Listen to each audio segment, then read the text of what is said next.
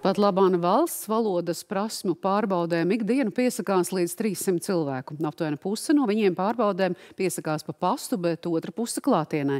Gaidāms, ka eksāmenu kārtos 18 tūkstoši Krievijas pilsoņu.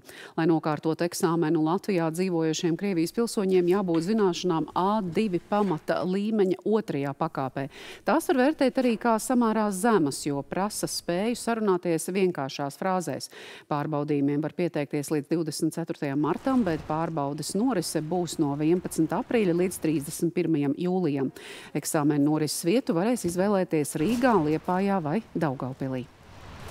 Mēs esam modelējuši situāciju uz, uz apsvērumiem, ka eksaminācijas procesā piedalīsies 18,000 pretendentu.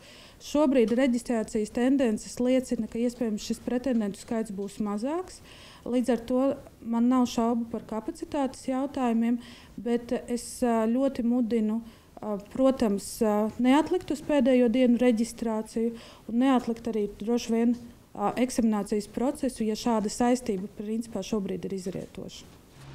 Atgādināšu, ka Krievijas pilsoņiem pastāvīgās uzturēšanās atļaujas Latvijā saņemšanai līdz šā gada 1. septembrim jāiesniedz valsts valodas prasmi apliecinošs dokuments.